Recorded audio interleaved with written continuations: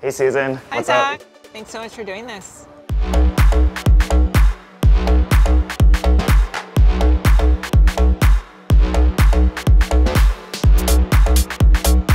I just wanted to first of all say congratulations on hitting the 20 million subscriber mark. Our team's still comprehending how large 20 million is. I feel like all the hard work's really paying off.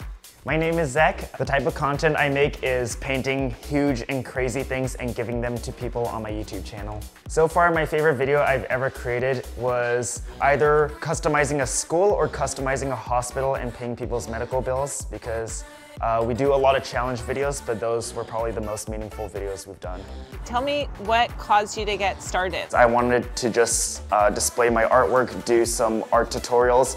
In high school, I did a tutorial on how to draw Spider-Man. Hey guys, it's Zach. This is my first YouTube video, so thanks for tuning in. And I thought it was really fun just being able to do artwork and then show it to a ton of people. And then it kind of just kept growing from there. At the size that you operate, you're a, a significant uh, business, right? In addition to a channel and influence. And so, what were some of the best investment decisions that you made along the way? When I was doing YouTube and I had one employee, I think, like obviously I loved making YouTube videos and doing art. I, I loved it so much, so I would work probably like 100, 110 hours a week. So I think the best investment decision I made was starting to get more employees delegating my tasks so I wouldn't do like all the editing, I wouldn't make all the phone calls. You, know, you definitely need time, right, to keep thinking Yeah. about the Yeah. inspiration and the creative part. Where do you get your inspiration from? I actually have a lot of time to think about that because our videos take so long to put out.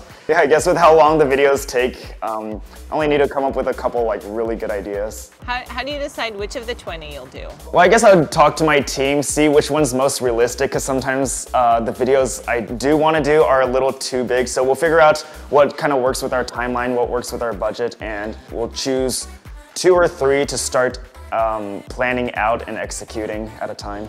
Where are you going to take it from here? So I guess with our channel, we always want to keep going bigger. We're just gonna keep doing bigger, crazier things and keep doing crazy challenges. I want to do some uh, fun charity work with my art. Hopefully include like just more of the community. I love your philanthropy and the way you've given back with your channel. Congratulations. I just wanted to Thank you. s- say big congratulations on the milestones and I wish you the best of luck going forward with your channel and all the great work you're doing.